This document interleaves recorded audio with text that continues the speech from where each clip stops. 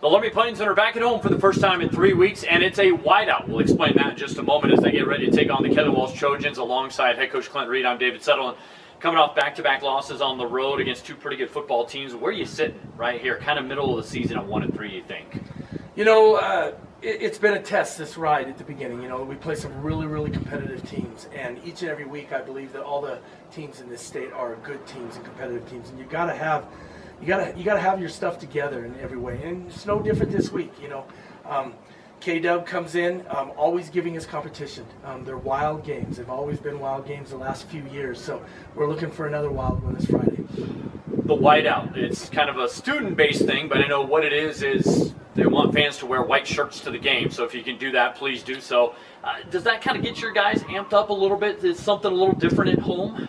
Yeah, it really does. You know, Dave, and here we are out videotaping and doing all this right now, and we're watching ash fall around us. So um, it's it's uh, it's it's not normal snow. So I don't want snow. I don't want to white out for that. But hopefully the fans come in white. We're going to be on all white at home. Okay. So if nothing else, we love coming home, playing in front of our fans, creating some kind of climate in the stands, in the community in that sense, and that gets the kids going totally. Good news was is you have your one win at home. Uh, that was a few weeks ago against Campbell County.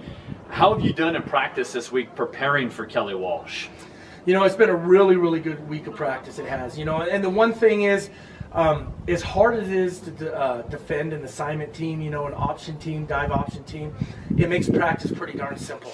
Okay. You know, you just assign certain guys to where they go, and uh, coaches are screaming and yelling when you don't go where you need to go. You know, we've talked about kids all week long. Some of the mistakes we make is that we see guys in a peripheral vision. We see these things we want to go do with this offensive lineman supposed to step right. We see a guy over here we want to go block him. No, put your blinders on. Well, in assignment football, everybody put your blinders on. You're assigned to go somewhere. So defensively, that's all we've worked on. It's been really good this week. The test will be Friday night. Talk a little bit about Kelly Walsh. Cam Burkett's the big running back, number nine. Trent Walker's the quarterback, number 12. It sounds like they've got a potent one two combo with those guys. It does. You know, you put your athlete right there at quarterback, and we seem to be facing that all season long so far with really stellar athletes. But they got a big back. Um, I think last year, second half of the season, this young man really stepped it up. Um, good size, you know, height, strength, speed. He's got it all. So, um, but we know what they like to do, and it's 12 and 9. You know, quarterback 12, running back 9. We got to tackle low, and we got to fly to the ball. Uh, it seems like almost a matchup of their speed against your size. So, how? And I know you've worked on speed and like your team's speed a little bit better, but how do you kind of combat their speed? Yeah, and again, that just is containment and leverage. You know, okay. you, you play, you got to play assignment football but you got to have leverage. You know, um, we work on leverage all the time. Um, I know it hasn't always seemed to be working on the field right now, but we always talk about you know getting that leverage. You know, using the sideline as a as a 12th person or 13th person, depending which side you're on.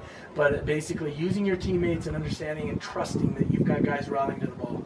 It is a 6 o'clock kickoff. Again, it's a whiteout. They're asking fans to wear white to the game Friday night. Laramie and Kelly Walsh Trojans come to town 2 and 2. The Plains are 1 and 3 and trying to snap a two game losing skid. Coach Reed, thank you so much for your time as always. Thank you, David. The Plainsmen and the Trojans, 6 o'clock kickoff Friday night. Join Aaron Lozano, myself for the broadcast 5 p.m. on KOWB or available anywhere with the KOWB app.